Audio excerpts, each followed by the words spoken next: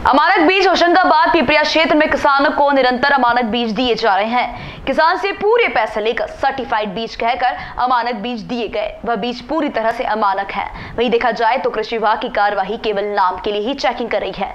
होशंगाबाद क्षेत्र पूरी तरह से किसानी पर निर्भर है।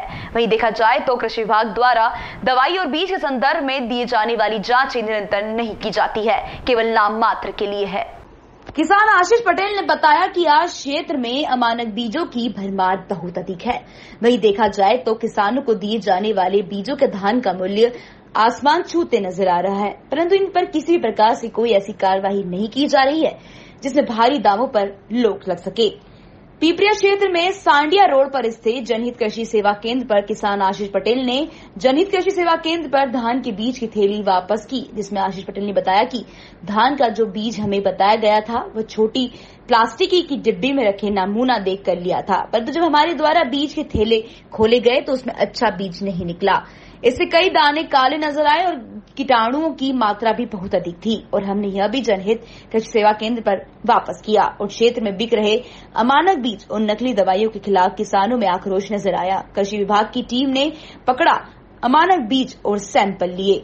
होशंगाबाद से जिला ब्यूरो अनिल यादव की रिपोर्ट। आपका नाम क्या है? मेरा नाम आशीष पटेल है। कहाँ के रहने वाले हैं? कन्नौर का निवासी कितनी ले गए थे बीज मैंने नब्बे किलो ले गया था क्या रेट में? सर अस्सी रुपए किलो। क्या क्या क्या कहा था आपसे कौन सा बीज है? सर सर्टिफाइड बीज है और इसमें एक भी दाना डिफ़ॉल्ट नहीं होगा पूरा दाना सर्टिफाइड है ना रोगग्रस्त है ये। पूरी रोगग्रस्त बीज है और बोले अच्छा क्वालिटी का दाना है। तो इसमें कैसा मिला आपको? अरे इसमें जब मैंने खोल कर देखा तो मैंने पाया कि इसमें हल्के दाने बिल्कुल निम्न स्तर के दाने हैं और काले दाने निकले और गुट्टा रोग जो होता है गुट्टा रोग निकला और इसमें सर कीड़े भी पाया गए छोटे छोटे।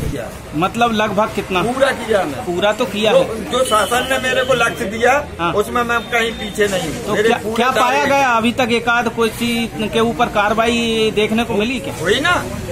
अतुल ट्रेडर्स का लाइसेंस निरस्त दिया।